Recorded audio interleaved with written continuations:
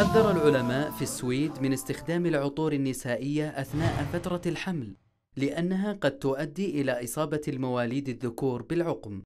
وجاء هذا التحذير بعد أن اكتشف العلماء وجود مستويات عالية من مواد كيميائية تسبب العقم في تركيبة أنواع معروفة من العطور ومنتجات التجميل والزينة الأخرى.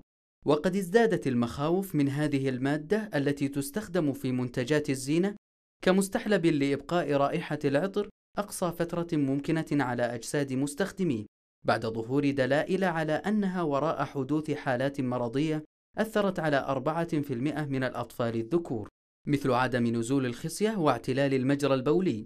لذلك تسعى المفوضية الأوروبية إلى فرض حظر على استخدام نوعين قويين من هذه المادة الكيميائية.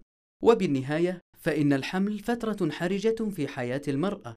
تحتاج فيها إلى عدم الإقدام على تصرفات حتى لو بسيطة قد تسبب لها مشكلات كبيرة مثل تدخين الحامل أو المبالغة باستخدام مستحضرات تجميل مجهولة المصدر يمكن أن تتسبب في إحداث تشوهات للجنين.